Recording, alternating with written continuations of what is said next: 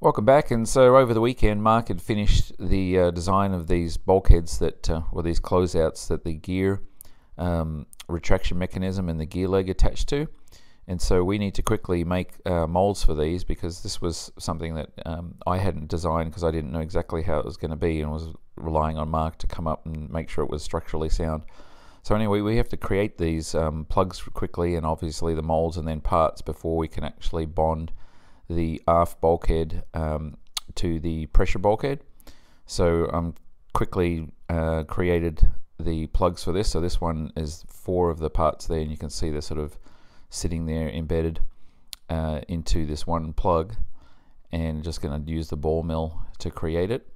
So quickly put that one together and you'll see here in a second the other one um, put that one together as well and uh, Zach and I got on to uh, quickly putting together the platform. So here's the other one a little bit dark this one it's difficult to see but anyway that's the the other bracket um, that is attaches to the um, the rear pressure bulkhead in the cabin on the backside there and the gear leg attaches to it at the bottom and the scissor mechanism attaches to it on the top. So um, pretty simple plugs to create um, but still something that really need to be done before we could actually bond the roof onto the fuselage. So we've got to get these ones underway. So here's Zach um, screwing down the uh, plywood here on the first platform.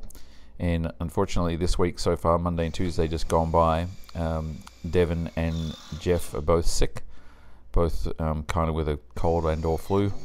So hopefully they'll be back in the shop tomorrow. Um, we lost you know a lot of productivity not having them there and here Zach is cutting uh, the foam for the first uh, plug so just using the bandsaw normally we would use a hot wire but this one was fairly small and easy and um, easy enough to use the bandsaw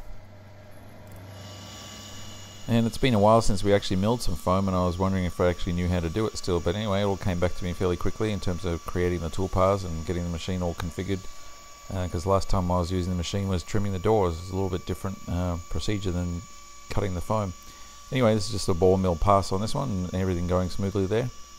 And meanwhile, uh, Zach was doing some uh, waxing of some of the other plugs or some of the other molds here um, so they're ready to lay up later and this is one of the uh, lower wing strake ones there with the, um, the indent there for where the nose or for where the main gear retracts into.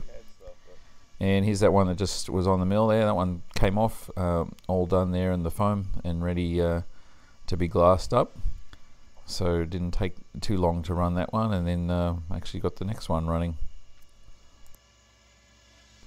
and there's the other lower wing strake mold. So that one is uh, also getting its uh, round of waxing. So it's ready to lay up that part. I'm not sure when that will be, but we're just basically getting all the molds prepped. So uh, everything's ready to, to lay up parts.